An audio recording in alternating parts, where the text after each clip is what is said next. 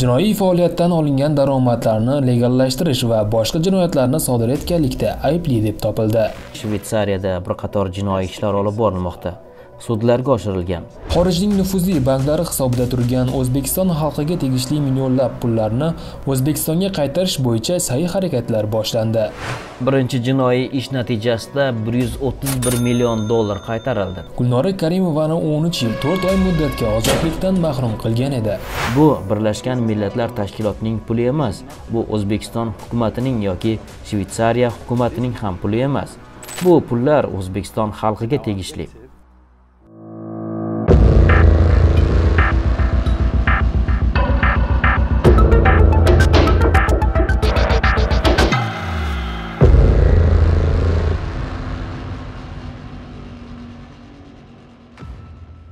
xabaringiz bor 2020 yil 18 mart kuni jinoyat ishlari bo'yicha toshkent shahar sudi gulnora karimovani 13 yil 4 oy muddatga ozodlikdan mahrum qilgan edi.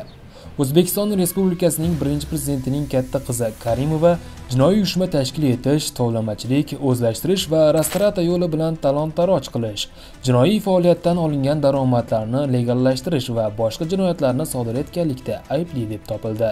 Xorijning nufuzli banklari hisobida turgan o'zbekiston xalqiga tegishli millionlab pullarni o'zbekistonga qaytarish bo'yicha sa'y harakatlar boshlandi.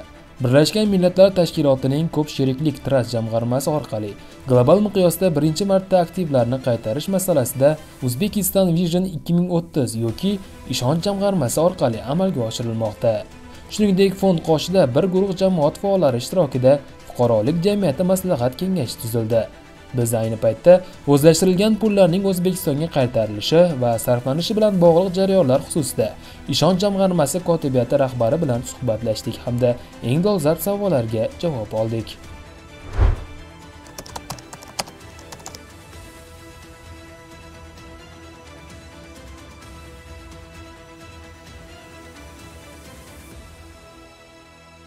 Thank you. That, that's a great question. So, to the best of my knowledge, yaxshi savol berdingiz bilishimcha birlashgan millatlar tashkilotining ko'p sheriklik trust jamg'armasi orqali global miqyosda birinchi marta aktivlarni qaytarish maqsadida foydalanilmoqda va bu aynan o'zbekiston vision 2030 yoki Ishon jamg'armasi misolida amalga oshirilyapti biz bmtning ko'p sheriklik trust jamg'armasidan restitutsiya ishi uchun birinchi marta foydalanmoqdamiz siz aytib o'tgan jarayon shundan iboratki shvetsariyada bir qator jinoiy ishlar olib borilmoqda.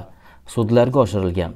Ishlar ko'rib chiqilib yakuniga yetgandan so'ng aktivlar ozod qilinadi va nyu yorkdagi ko'p sheriklik trust jamg'armasi ofisiga o'tadi. Shunday qilib pul nyu yorkdagi birlashgan millatlar tashkilotining bank hisob raqamiga qo'yiladi. Jamg'armaning o'zbekistondagi boshqaruv qo'mitasi ya'ni o'zbekiston hukumati shvetsariya hukumati va birlashgan millatlar tashkilotidan iborat uch tomonlama boshqaruv qo'mitasi pulni qanday sarflash bo'yicha qaror qabul qiladi. Pul menimcha bu juda muhim prinsip. Bu birlashgan millatlar tashkilotining puli emas. Bu o'zbekiston hukumatining yoki shvetsariya hukumatining ham puli emas. Bu pullar o'zbekiston xalqiga tegishli. Bizning maqsadimiz esa birlashgan millatlar tashkiloti agentliklari yoki jahon banki tomonidan amalga oshiriladigan loyiha va dasturlar orqali pulni o'zbekiston xalqiga qaytarish yo'lini topishdir. Pul nyu yorkdagi bank hisobvarag'iga birlashgan millatlar tashkiloti agentliklariga loyihalar va dasturlar boshqaruv qo'mitasi tomonidan ma'qullanganidan so'ng o'tkaziladi va bu jarayonning bir qismi sifatida bizda fuqarolik jamiyati maslahat kengashi ham mavjud bo'lib u qarorlar qabul qilishda boshqaruv qo'mitasiga yo'l yo'riq va maslahatlar beradi as they make decisions.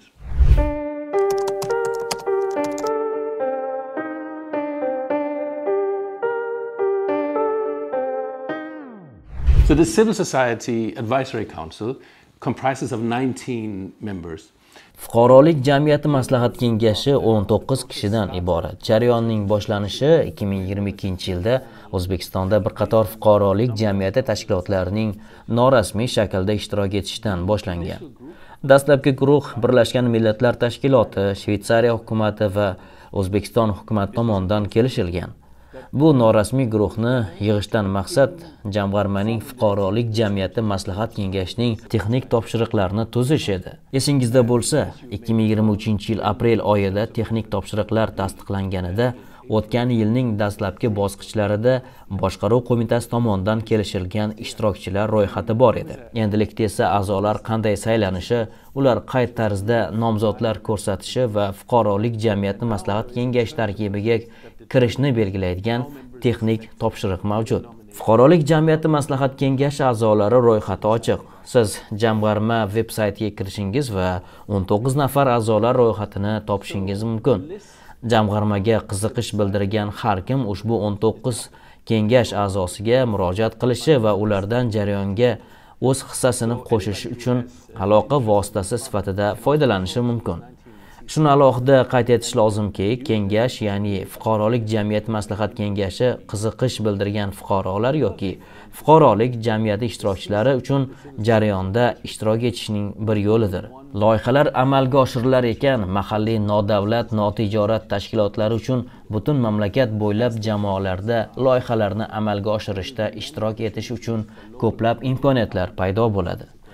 Va men sizga jamg'arma tomonidan tasdiqlangan birinchi loyiha sog'liqni saqlash sohasidagi loyihasidan misol keltiraman. Fuqarolik jamiyati mazkur loyihaning muvofiqlashtirish qo'mitasida ham o'rni bor. Demak ular loyihani amalga oshirish bo'yicha qaror qabul qilish jarayonining bir qismidir. Fuqarolik jamiyati perinatal markazlarga tibbiy asbob uskunalarni xarid qilish jarayonida ham kuzatuvchi maqomiga ega. Misol uchun tibbiy asbob uskunalar uchun tender e'lon qilinib takliflar qabul qilinganidan so'ng fuqarolik jamiyati vakili takliflar ochilganida u yerda qatnashadi. Yetkazib beruvchilarni baholash va tanlash jarayonining bir qismi bo'ladi. Fuqarolik jamiyati vakillarining 19 ta kengash a'zosidan tashqari ishtirok etish uchun boshqa ko'plab imkoniyatlar ham mavjud bo'ladi.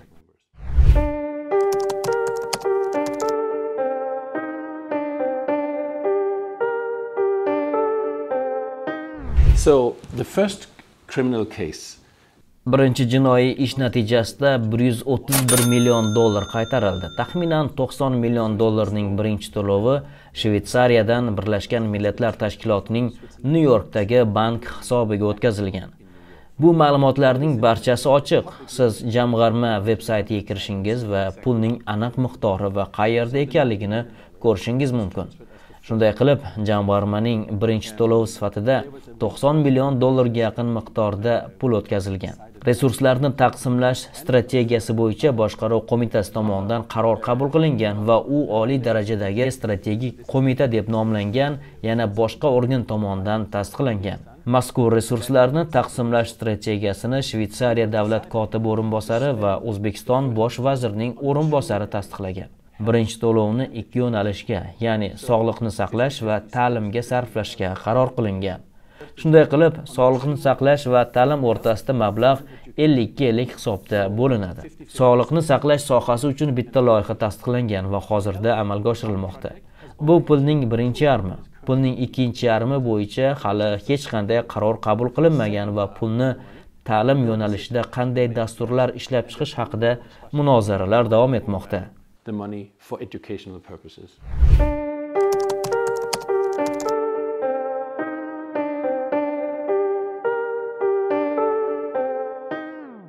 I, I agree. And I'm very happy to state this. Buni aytib berishdan juda mamnun bo'laman va siz mening so'zlarimni shundayligicha qabul qilishingiz shart emas. Har qanday qiziqqan kishi jamg'arma veb saytiga tegishli Gateway tizimi deb ataladigan platforma orqali kirishi mumkin. Bu ommaviy veb sayt. U hamma uchun ochiq va unda siz pulning qayerdaligini aniq ko'rishingiz mumkin. Siz barcha hujjatlarga barcha loyiha takliflariga kengash a'zolari tarkibi bilan tanishishingiz mumkin. Barcha hujjatlar jamoatchilikka taqdim etiladi. Hozirda asosan ingliz tilida mavjud. Ularni o'zbek tiliga tarjima qilish ustida ishlayapmiz. Shunday qilib har kim hatto siz ingliz tilini bilmasangiz ham ushbu hujjatlarga raqamlarga va ma'lumotlarga kirishi mumkin. Uh, information.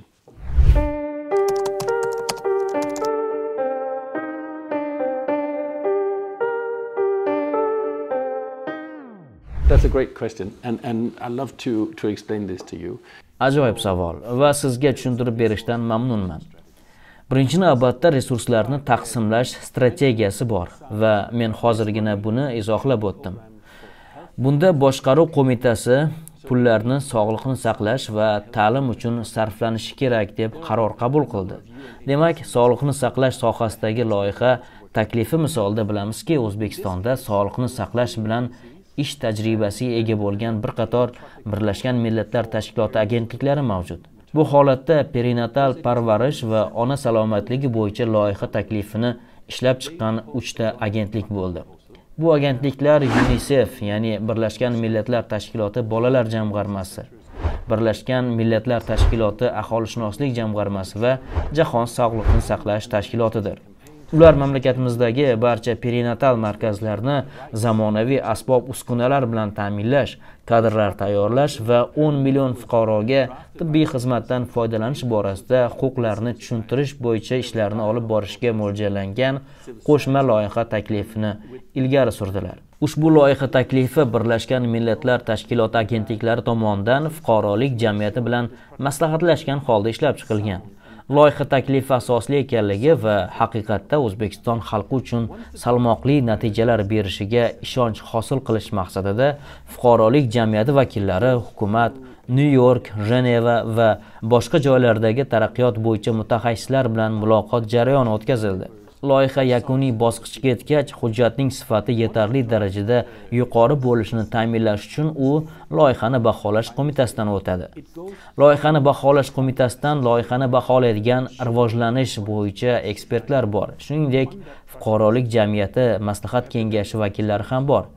Shunday qilib fuqarolik jamiyati loyiha sifatini baholovchi qo'mitadan ham o'z joyiga ega.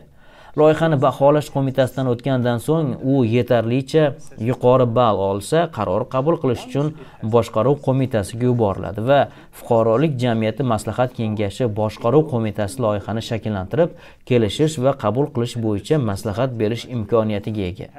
Boshqaruv qo'mitasi tomonidan tasdiqlanib qabul qilinganidan so'ng pul nyu yorkdan loyihani bajaruvchi birlashgan millatlar tashkiloti agentligi hisobiga o'tkaziladi. Pul birlashgan millatlar tashkiloti tizimidan tashqariga chiqmaydi. Pul bmtning bitta bank hisob varag'idan agentlikning bank hisob raqamiga o'tadi va loyihani amalga oshirish boshlanadi. Va o'sha yerda fuqarolik jamiyati loyihani muvofiqlashtirish qo'mitasida ya'ni amalga oshirish bo'yicha qarorlar qabul qiluvchi qo'mitada o'tirish imkoniyatiga ega bo'ladi. Hamda ular tender jarayonining guvohi bo'lishadi. Ular shuningdek loyihani monitoring qilish va baholashning bir qismi bo'lib ushbu pulni o'zbekiston xalqiga qaytarish maqsadiga erishishni kuzatishadi. Bu pullar o'zbekiston xalqiga tegishli. U bmtga ham o'zbekiston hukumatiga ham shvetsariya hukumatiga ham tegishli emas. Or the government of uzbekistan or the government of switzerland.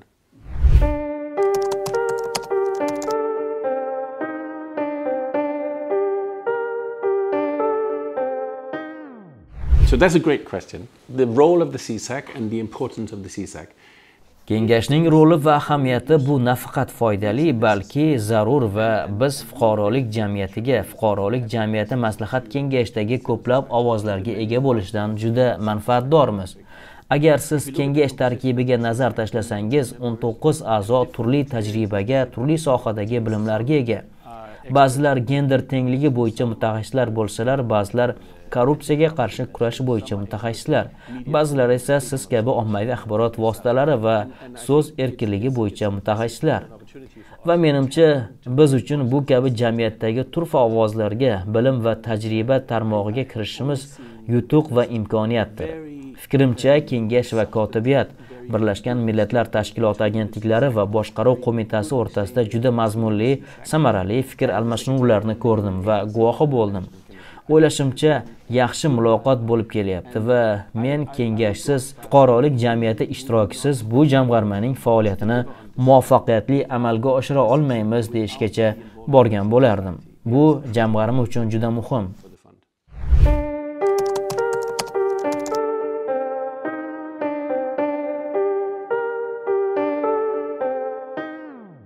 That's, that's a great question.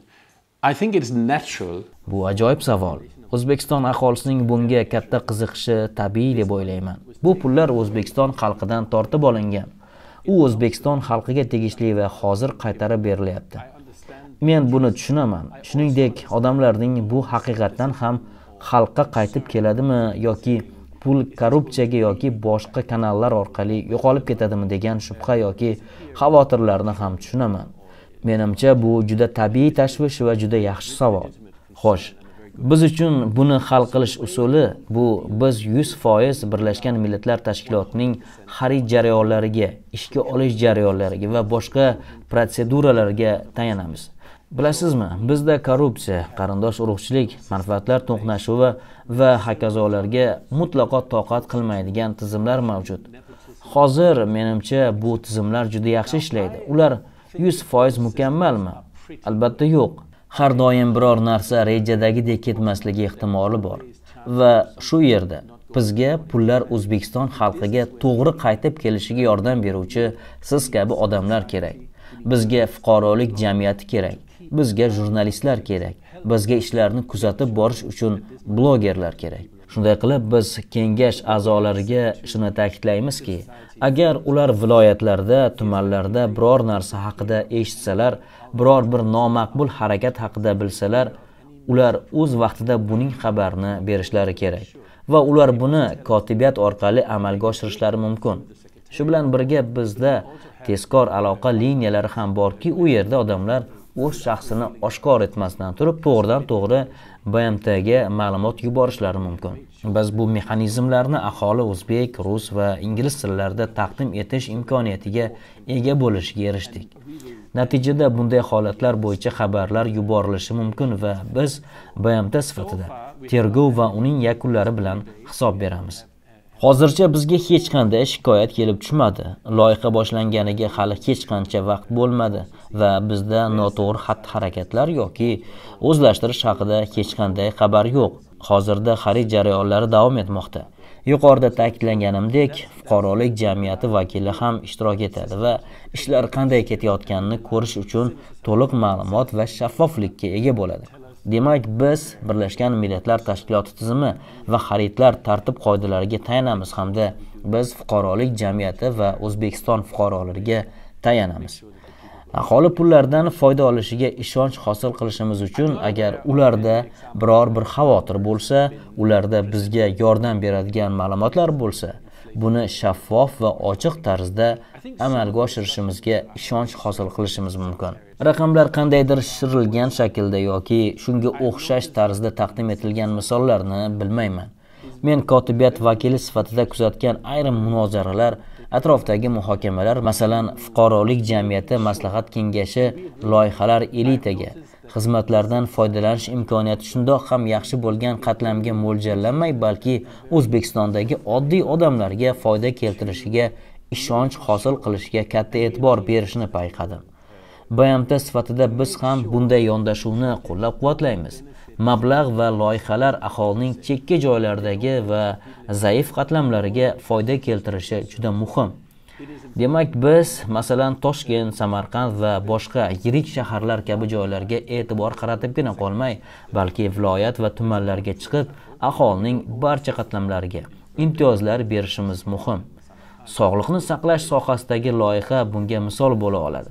Bu loyiha ko'lami mamlakatdagi barcha 227 ta perinatal markazni qamrab olgan.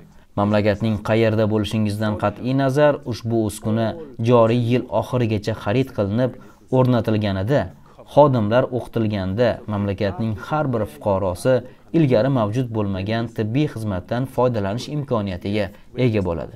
Shunday qilib o'ylaymanki sog'liqni saqlash sohasidagi loyiha biz fuqarolik jamiyati maslahat kengashi bilan yaxshi fikr almashganimizning namunasi. Va biz buni butun mamlakat aholisi manfaat olishi kerakligiga ishonch hosil qildik va hujjatlashtirdik. Xuddi shu tamoyillar ta'lim loyihalariga ham amal qiladi va hozirda shunga o'xshash munozaralar ketyapti. Biz loyiha doirasida chora tadbirlarni kimlarningdir manfaatlari yoki aholining maxsus qatlamlari yoki ushbu qo'shimcha xizmatlardan foydalanishni xohlaydigan geografik hududlar uchun lobbi qilib bo'lmaydigan tarzda loyihalashtirmasligimizga ishonch hosil qilishimiz kerak. Shunday qilib ta'lim loyihalari bo'yicha munozaralar davom etmoqda va menimcha biz kengashning juda faol tarzda aholining marginal va zaif qatlamlarini himoya qilayotganini guvohi bo'ldik. Biz albatta bmt sifatida bunga qo'shilamiz. Bizning prinsipimiz hech kimni ortda qoldirmaslik va shuning uchun biz bu borada ham fikrmiz va fuqarolik jamiyatining loyiha bo'yicha fikr mulohazalarini juda qadrlaymiz. Ammo ta'lim loyihasi bo'yicha hali hech qanday qaror qabul qilinmaganini ta'kidlashim kerak. No decision has been made yet on the education project, but there's ongoing discussions.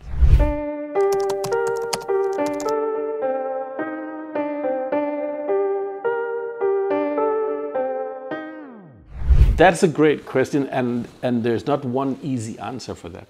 yaxshi savol. Va bunga oson javob yo'q. Jamg'armada loyihalar taqdim etilishi mumkin bo'lgan 3 ta darcha mavjud. A darcha b darcha va s darchalar. B darchasi ostida taqdim etilgan loyihalar tez bajariladigan loyihalardir. Ular 30 oy ichida amalga oshirilishi kerak. A va s darchalari orasidagi loyihalarning farqi shundaki a darchasi bmt uchun s darchasi esa jahon banki uchun. Ushbu loyihalar odatda 4-5 yilgacha davom etishi muddatiga ega. Loyihalarni amalga oshirish uchun qancha vaqt ajratilishiga aniq cheklov yo'q.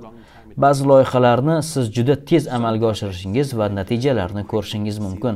Ba'zi loyihalar esa murakkabroq va ko'proq vaqt talab qiladi. Barcha darchalar barcha loyihalardagi umumiy jihat shundaki ular har 6 oyda bir marotaba moliyaviy va amalga oshirilayotgani to'g'risida hisobot berib turishlari va har yili har bir loyiha bo'yicha yillik hisobot o'zbek rus va ingliz tillarida keng jamoatchilikka e'lon qilinadi. Loyihalar qanday kechayotgani haqida hamma o'qib tushunishi mumkin. Bunga qo'shimcha ravishda fuqarolik jamiyati vakillari ham tarkibida bo'lgan loyihani boshqarish qo'mitalari mavjud va ular loyihalarning har bir bosqichini kunlik haftalik yoki oylik ravishda kuzatib boradi.